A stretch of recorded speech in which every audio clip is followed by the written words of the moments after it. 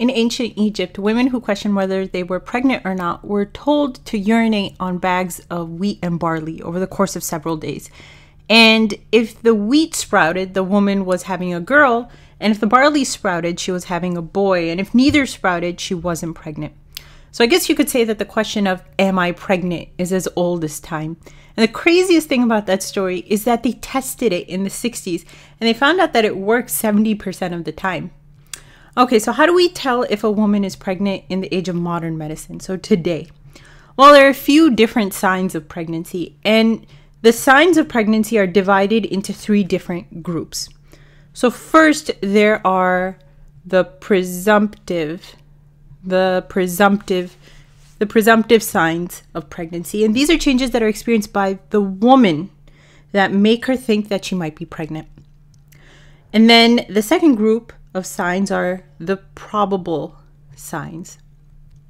The probable probable signs of pregnancy, which are changes that are seen on physical exam that make the examiner suspect that the woman might be pregnant. And then finally, there are the positive signs of pregnancy. The positive signs of pregnancy, or signs that can only and only be explained by pregnancy. All right, so let's start with the presumptive signs. So we're talking about signs that make the woman think she's pregnant. And the number one sign has to be a missed period. And the medical term for that is amenorrhea. So the medical term for missed period is amenorrhea.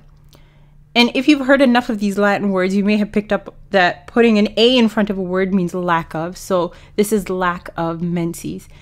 And you know, I think it's really important that you understand why the period is missed in pregnancy. So, really briefly, over here you have the uterus, right? And the uterus has layers, but the innermost layer, the endometrium, is what we're concerned with right now. And then off to the side, we have the ovary, which has lots of different follicles in it. And inside each follicle is an egg. So, really, just as a 50,000 foot view of things, the whole purpose of the menstrual cycle is to select one of these follicles, one of these follicles every menstrual cycle for development. So, one of these follicles is selected to grow and develop. And as it does that, as it grows and develops, it secretes hormones, specifically estradiol. So it specifically secretes estradiol, which is a type of estrogen. And that estradiol acts on the uterus and it causes this inner lining of the uterus, the endometrium, to proliferate and to become thicker. And then in the middle of the menstrual cycle, this one mature follicle ruptures and it releases the egg that's inside it. And that event, that event where the follicle ruptures and releases the egg inside of it, is referred to as ovulation. After ovulation, the egg that's released travels down the fallopian tube, hopefully to find a sperm to fertilize it. But meanwhile, this ruptured follicle that's left behind over here, which is now referred to as the corpus luteum, right? So the corpus luteum takes this sort of waiting period while it's sitting around waiting for the egg to be fertilized to start producing lots of progesterone. So, progesterone is another hormone that the corpus luteum produces. And again, the progesterone acts on the endometrium of the uterus to increase the growth of glands and, and cause the storage of, of glycogen. And all of this is done to prepare the endometrium, to prepare it for the implantation of an embryo.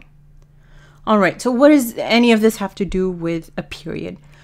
Well, if that egg that's hanging out over there doesn't get fertilized, the corpus luteum recognizes that. And it says, well, I guess there's no reason to prepare this endometrium for implantation, so it stops making progesterone. And without the progesterone, the endometrium starts to slough off. And that sloughing off of endometrium is what's referred to as a period.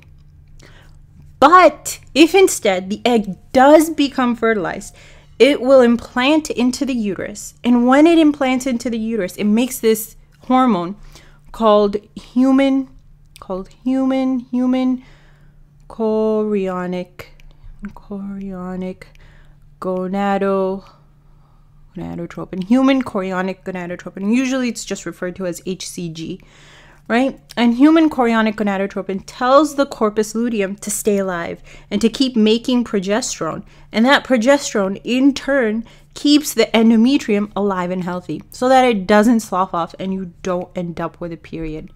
So that is why when an egg becomes fertilized, when you become pregnant, you miss a period. So that's a lot of information. Now, a lot of the hormones that I just talked about account for the other presumptive signs of pregnancy. So, nausea and vomiting, for example. Lots of people wonder why do you become so nauseous during pregnancy? And one of the reasons for the nausea is progesterone.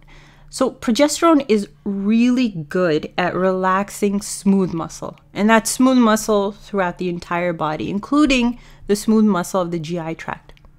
And if you can imagine, if the smooth muscle of the GI tract is relaxed instead of contracting, food isn't going to make its way down the GI tract like it should. It kind of just sits there and it's and and that that piling up of food, that stasis of food causes nausea. And in addition to all of the estrogen and progesterone, the placenta makes a hormone called melanocyte stimulating hormone. Right? It's not the most important hormone of pregnancy, but it makes this hormone called melanocyte stimulating hormone, which does exactly what the name implies. It stimulates the melanocytes, which are the pigment cells in your skin. So hyperpigmentation is not an uncommon sign in pregnancy. So darkening of the skin can also occur as a sign in pregnancy. And and that could be hyperpigmentation of the face, right? So the hyperpigmentation of the face is called melasma, and a lot of people refer to it as the mask of pregnancy. So you can see like dark, blotchy spots on the face, which typically go away within a year after the pregnancy is over, but still it can be a sign early on in the pregnancy. Linea nigra is another manifestation of that hyperpigmentation. So linea means line and nigra means black, right? So it's a dark line that tends to appear down the middle of the abdomen, right? And and also you can see darkening of the areola of the breasts. So that's another manifestation of the hyperpigmentation. And speaking of the breast, many women early on in the pregnancy experience breast tenderness. And again, that's due to the effects of estrogen and progesterone causing growth of the glands inside the breast. And then, somewhere around uh, 12 to 14 weeks into the pregnancy, women can start to experience fetal movements for the very first time. And they're commonly described as being being flutter like, so it feels like a flutter. And those movements are referred to as quickening. Quickening, right? So, quickening. So, those are the presumptive signs of pregnancy. So, what about the probable signs of pregnancy? Well, first there's uterine enlargement. So, so if the examiner feels an enlarged uterus, that's a pretty big clue that the woman might be pregnant. And of course, a positive pregnancy test is another big sign. So, most pregnancy tests, whether they're blood tests or, or whether they're urine tests, detect beta HCG. They detect that human chorionic gonadotropin. And beta HCG is, remember, made after the implantation occurs. And it can be detected in the urine or in the blood anywhere between 10 to 14 days after conception. And I think there tends to be this thought that blood pregnancy tests are way more accurate than urine tests that are done at home. But that's not necessarily true. So, there have been a few studies that have shown that a urine pregnancy test is pretty much as accurate as a blood test. But it's improper usage or not correctly following instructions at home that tend to result in an inaccurate home pregnancy test. And you might be wondering why a positive pregnancy test isn't a positive sign of pregnancy. Why is it a probable sign of pregnancy? And it's because you can actually have a false positive pregnancy test because there's certain types of cancer that also produce HCG. So as you can imagine, that would also lead to a positive pregnancy test in the absence of a pregnancy. All right. Now, as far as the remainder of the probable signs of pregnancy, keep in mind that during pregnancy, the blood flow to the entire reproductive tract, including the uterus and the vagina, drastically increases. There are more blood vessels growing in these organs, and more of mom's blood is being directed this way. And that makes these tissues really quite loose and swollen and, and elastic, right? So, for example, the tip of the cervix becomes soft and swollen, and that can be seen or it can be felt by an examiner. And that and that softening of the tip of the cervix is referred to as Goodell's sign. It's referred to as Goodell's sign. So it's something that an examiner can see that would sort of indicate that the woman might be pregnant. And all of those blood vessels give the cervix and the vagina a violet bluish color, which again can be seen during an exam, and that's referred to as Chadwick's sign. So refers to the bluish tinge of the vagina and the cervix. And eventually, actually, an examiner can feel the presence of the fetus. So there is this maneuver where the examiner can insert their finger through the vagina and gently tap upwards, which causes the fetus to rise, right? And then the fetus sinks, and then the examiner feels a gentle tap back on their finger. And that technique of gently sort of bouncing the floating fetus is referred to as ballottement. It's referred to as as ballot as ballottement. So those are the probable signs of pregnancy, leaving us with the positive signs of pregnancy, which are signs that can only and only be explained by pregnancy.